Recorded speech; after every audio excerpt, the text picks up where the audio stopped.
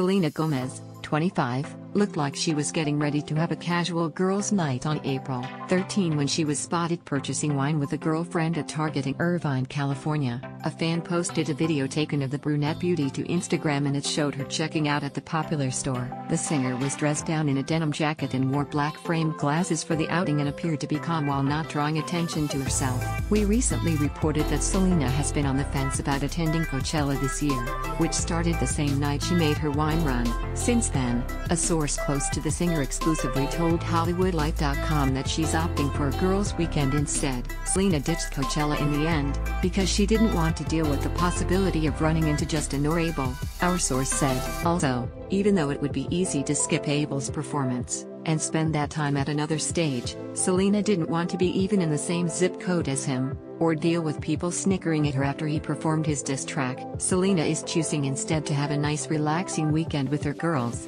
watching movies, cooking, drinking wine, and catching up.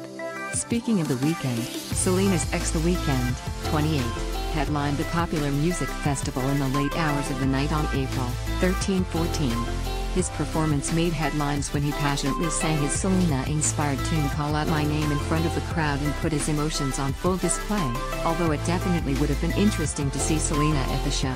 With all the different headlines surrounding their breakup, we can understand why she would choose otherwise. The Weeknd wasn't the only one of Selena's exes to be at Coachella. Justin Bieber, 24, also decided to attend the festivities and a brunette beauty named Charissa Kidmer shared a photo of herself in front of a private jet with Justin. There's no word on who Charissa is or what her connection to Justin is, but it definitely has us wondering if things between him and Selena are over for good. Selena and Justin reportedly went on a break after rekindling their romance last year but with the way things have been going, we're not so sure they have any plans to get back together soon. At least Selena has her girlfriends there to keep her company. We'll be on the lookout to see if Selena decides to attend Coachella this